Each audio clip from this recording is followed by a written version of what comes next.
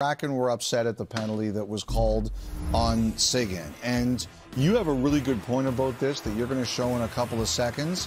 You know, the the the overall feeling around the league is the embellishment is a big problem. And just forgetting this for a second, I'm talking about it in general.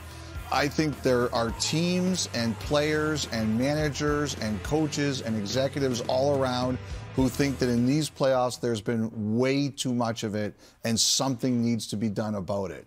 Now, just, you should mention what you said about that particular call. Right after Eberle uh, obviously hit uh, Cogliano. Andrew Cogliano and fracture in his neck, uh, that would be to all officials a warning that we have to eliminate hitting from behind. Yes. So they're And on I- high alert for that, and, and I think everybody will be happy to see call. It's like, uh, to a lesser extent, the injury to Kucherov a couple of years ago when Scott Mayfield got a cross check. There'd been so much cross checking. They were allowing the battles. Everybody loved the battles until it went too far.